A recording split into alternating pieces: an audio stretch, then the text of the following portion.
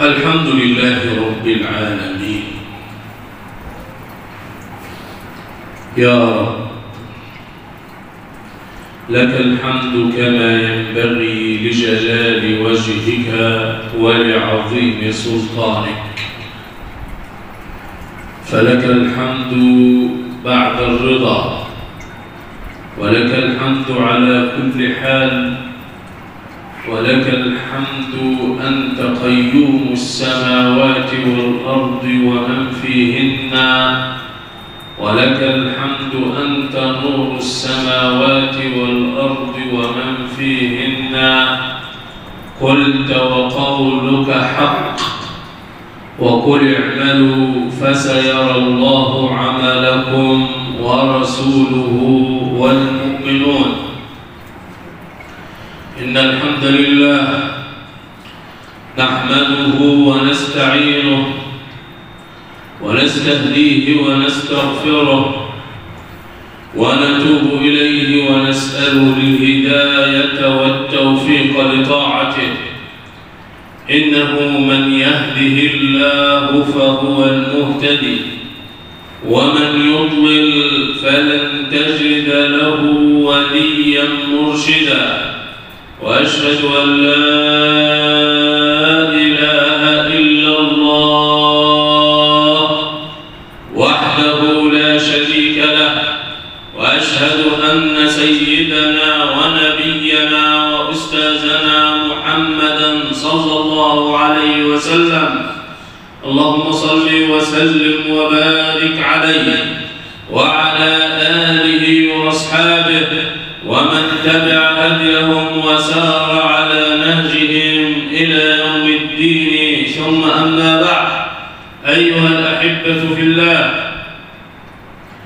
أوصيكم ونفسي بتقوى الله عز وجل فإن الله سبحانه وتعالى يقول يا أيها الذين آمنوا اتقوا الله وقولوا قولا سديدا يصلح لكم أعمالكم ويغفر لكم ذنوبكم ومن يطع الله ورسوله فقد فاز فوزا عظيما وأحذركم وأحذر نفسي من مخالفة أوامر الله وعصيانه لأن الله سبحانه وتعالى يقول ومن يعص الله ورسوله فإن له نار جهنم خالدين فيها أبدا. وبعد فإن حديثنا اليوم عن حق العمل. والعمل خلق إسلامي رفيع له مكانة ومنزلة عالية في الإسلام. خاصة وأن الله سبحانه وتعالى قد أمرنا بالضرب في الأرض والسعي على العمل فقال هو الذي جعل لكم الأرض ذلولا فامشوا في مناكبها وكلوا من رزقه وإليه النشور. فقال وإذا ضربتم في الأرض فليس عليكم جناح أن تقصروا من الصلاة إن خفتم أن يفتنكم الذين كفروا.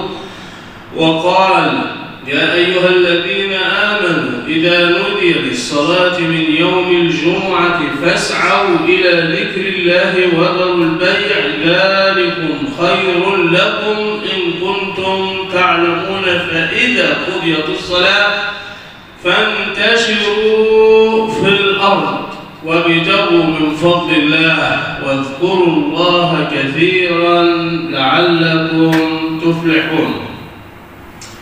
آيات كثيرة تحث على العمل منها قوله تعالى وقل اعملوا فسيرى الله عملكم ورسوله والمؤمنون وستردون إلى عالم الغيب والشهادة فينبئكم بما كنتم تعملون. إن الإسلام لا يعرف سنا للتقاعد. فيقولون فلان هذا قد أحيل إلى التقاعد عند بلوغه سن الستين. يحال كل منا إلى التقاعد إن كان موظفا. فيجلس في البيت. الإسلام لا يعرف هذا لا يعرف للعمل سنا معينة ستين أو سبعين بل إن النبي محمد صلى الله عليه وسلم دعانا أن نعمل حتى قيام الساعة. فقال صلى الله عليه وسلم إذا قامت الساعة وفي يد أحدكم فسيلة فإن استطاع ألا يقوم حتى يغرسها فليغرسها. هذا حديث عن النبي محمد صلى الله عليه وسلم يؤكد على أنك تعمل لآخر دقيقة في حياتك. حتى ولو قامت الساعة والإسلام أيضا يحثك على أن تتخذ مهنة للكسب وحرفة أو وسيلة لكسب معاشك منها فقال النبي محمد صلى الله عليه وسلم لأن يغدو أحدكم فيحتطب على ظهره فيتصدق منه. خير له من أن يسأل الناس أعطوه أو منعوه. واليد العليا خير من اليد السفلى. ثم إن النبي محمد صلى الله عليه وسلم أمر أصحابه بالعمل وسار على ذلك كل صحابته رضي الله تعالى عنهم وأرضاهم. هذا عمر بن الخطاب كان إذا أعجبه شاب سأل عن صنعته. فإن قيل له لا صنعة له سقط من عينيه. وكان إذا امتدح أمامه شاب فسأل عن مهنته. فإن كان له مهنة قال لا بأس بذلك المد وإن لم يكن فقال لا. لا تمدحوه. وكان إذا رأى رجلا يجلس أمام بيته. ساقه إلى العمل بالدرة التي في يده. وقال كان يكره الرجل الفارغ. فيقول مكسبة في دناءة خير له من أن يجلس لأن الجلوس هذا يكون في معصية الله سبحانه وتعالى. لذلك عندما خرج رجل أمام صحابة النبي محمد صلى الله عليه وسلم وكان صحابة النبي يعجبهم حال هذا الشاب فقالوا يا رسول الله أرأيت لو كان هذا في سبيل الله؟ هذا الشاب الذي عنده نشاط وعنده قوة وعنده كذا وكذا يا رسول الله لو كان هذا في سبيل الله فقال له النبي محمد صلى الله عليه وسلم إن كان خرج يسعى. يسعى على من؟ على ولده صغارا فهو في سبيل الله. وإن كان خرج يسعى على أبوين شيخين كبيرين فهو في سبيل الله. وإن كان قد خرج يسعى على نفسه ليعفها فهو في سبيل الله. وإن كان قد خرج يسعى على غير ذلك فهو في سبيل الشيطان. وهذا أبو الدرداء الصحابي الزاهد كما ورد عنه في حديث كعب بن عجرة فكان مر عليه رجل وهو يزرع الجوزة فقال ما هذا؟ يا أبا الدرداء أتزرع هذه الجوزة وهي لا تثمر إلا بعد كذا سنة؟ فقال ما لي في ذلك الأمر شيئا إلا إذا أنا آخذ الأجر وغيري سيأكل منه. لذلك كان صحابة النبي محمد صلى الله عليه وسلم يعملون بجد ونشاط لماذا؟ لأنهم تربوا على مائدة النبي محمد صلى الله عليه وسلم لذلك فإن العمل شرف والعمل عبادة إذا أخلص الإنسان في نيته إذا كان مدرسا أو كان مزارعا أو كان تاجرا أو كان صانعا أو كان أي مهنة من هذه المهن إذا أخلص النية فيها لله فهو في سبيل الله سبحانه وتعالى.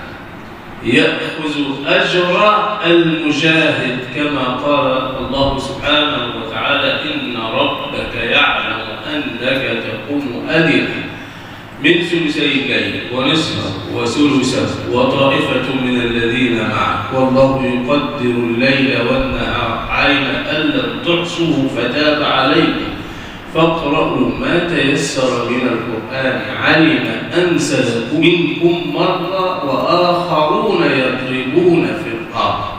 يضربون في الأرض يعملون بجد ونشاط واجتهاد وإخلاص في الله سبحانه وتعالى من أجل أن يتقدم وطننا وآخرون يضربون في الأرض يبتغون من فضل الله وآخرون يقاتلون في سبيل الله فهو هذا العامل الذي يخلص النية في عمله لله سبحانه وتعالى يصبح أجره كالمجاهد في سبيل الله إذا أخلص النية والعبادة لله. من خرج في طلب العلم فهو في سبيل الله حتى يرجع ولذلك قال وقل اعمل فسيرى الله عملكم ورسوله والمؤمنون وستردون إلى عالم الغيب والشهادة فينبئكم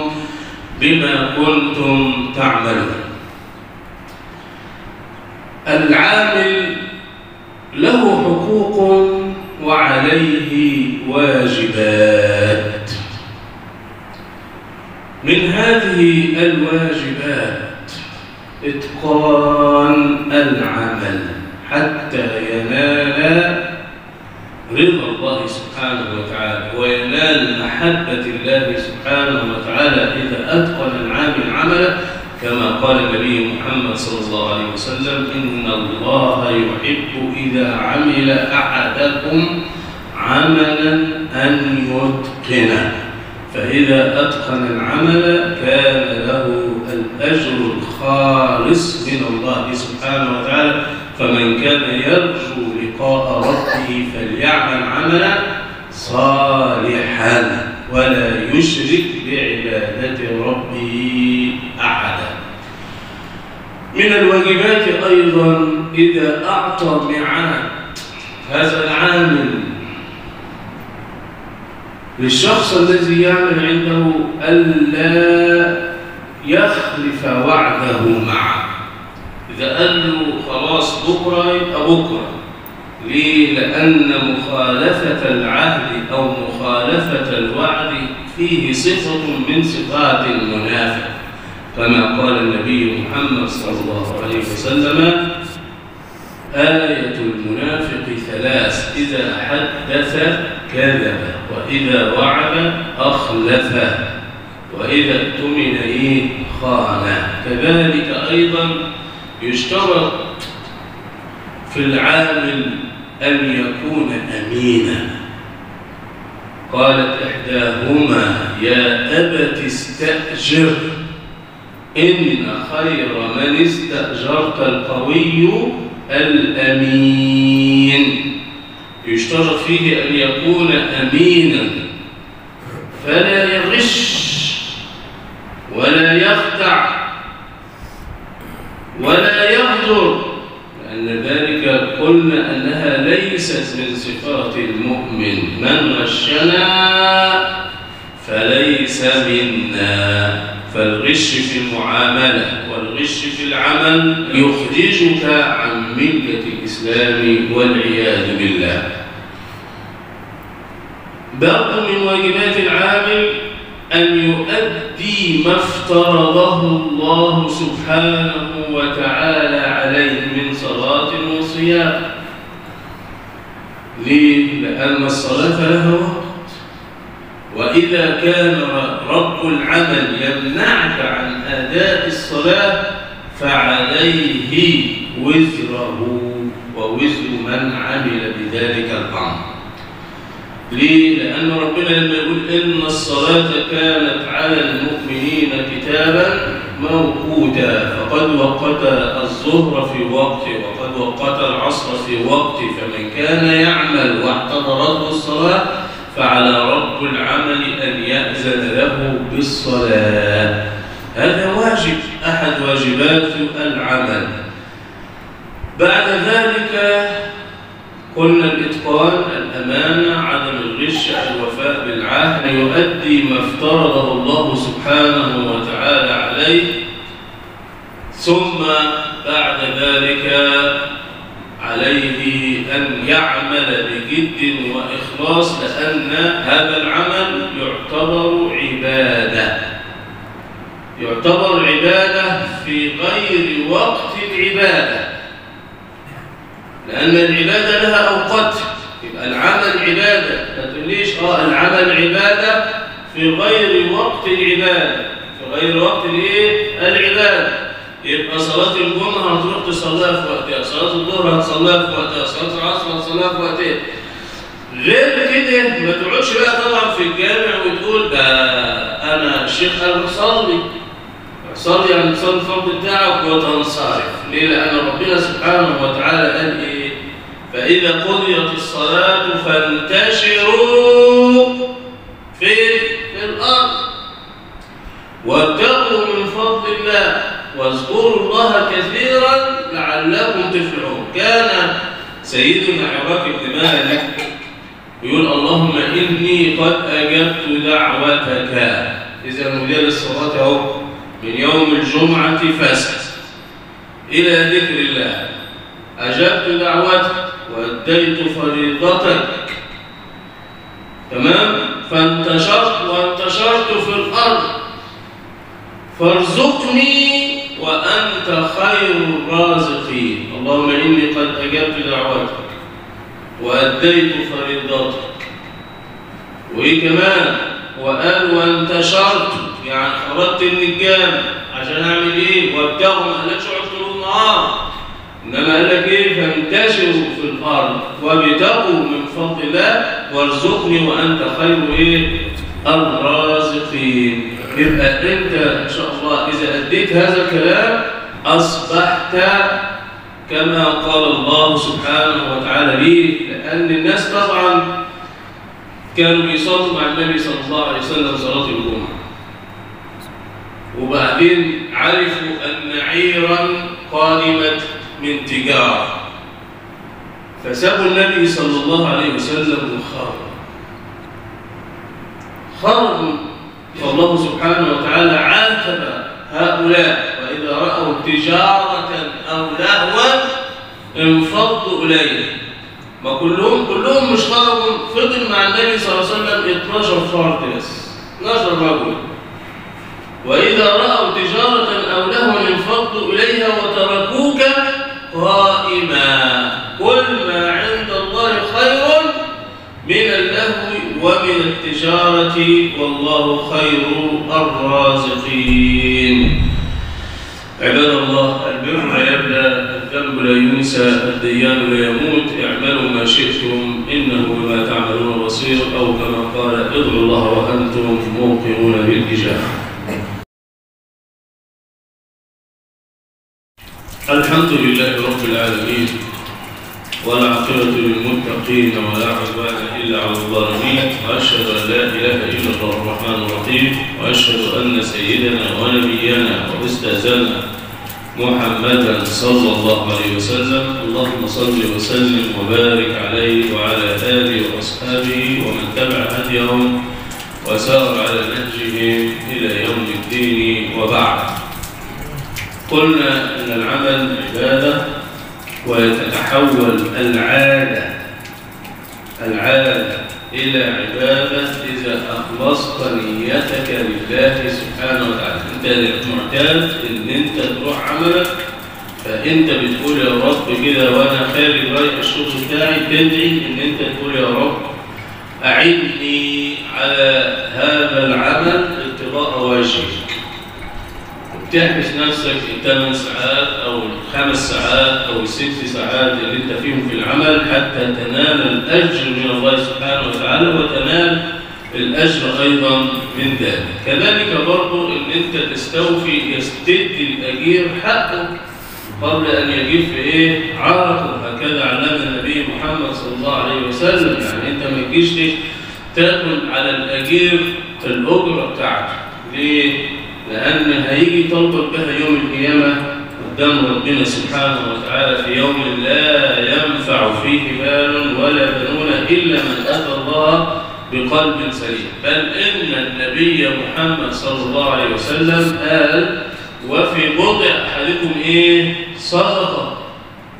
في بضع أحدكم يعني الإنسان الذي يأتي زوجته في الحلال ويعاشرها في الحلال ليعفها ويعف نفسه بهذه الشهوة له بذلك أجر. قال أحدهم يا رسول الله أيأتي أحدنا زوجته ويأخذ عليها صدقة قال نعم. أرأيت لو وضعها في حرام؟ لو أنت رحت بقى كده جبت واحدة كده وفكرتها وعصيت الله سبحانه وتعالى ووضعت شهوتك فيها فأليس عليك وزر؟ نعم عليك وزر فإذا يتحول الأمر هذه العادة وهو أن تأتي زوجتك في الحلال تأتي زوجتك في الحلال لتأخذ الأجر من الله سبحانه وتعالى يبقى ربنا سبحانه وتعالى قال يا أيها الذين آمنوا لا تلهكم أموالكم ولا أولادكم عن ذكر الله ومن يفعل ذلك فأولئك هم الخاسرون. كل منا إذا كان عاملا أو مدرسا أو مزارعا أو تاجرا يخلص النية لله سبحانه وتعالى في العمل حتى ولو في فراش زوجته إذا أخلصت. كان وضع شهوتك لزوجتك بإخلاص ابتغاء وجه الله سبحانه وتعالى ابتغاء أن تعفها وتعف نفسك فإنك ستأخذ عليها أجرا من الله سبحانه وتعالى. أسأل الله العظيم رب العرش العظيم أن ينفعنا بما سمعنا وأن يجعلنا من الذين يستمعون القول فيتبعون أحسنه. اللهم اجعلنا هداة مهديين لا ضالين ولا مضلين. وإذا أردت لعبادك فتنة فاقبضنا إليك غير فاتنين ولا مفتونين اللهم آت نفوسنا تقواها وزكها أنت غير من زكاها. أنت وليه مولاها فنعم المولى ونعم النصير. اللهم اجعل بلادنا من خير البلاد واجعلها أمينة مطمئنة إلى يوم التناد. وأصلح من كان في صلاحه صلاح المسلمين. واهد يا رب من كان في هدايته نصرا وعزا وتمكينا للمسلمين. إنك على ما تشاء قدير. اللهم اغفر لوالدينا اللهم اغفر لهم وارحمهم وعافهم واعف عنهم وأكرم نزلهم ووسع مدخلهم واغسلهم من ذنوبهم بالماء والثلج والبرد. وارحمنا ربنا إذا صرنا إلى ما صاروا إليه ربنا ظلمنا أنفسنا وإن لم تغفر لنا وترحمنا لنكونن من الخاسرين. ولذكر الله أكبر. والله يعلم ما تصنعون وأقم الصلاة.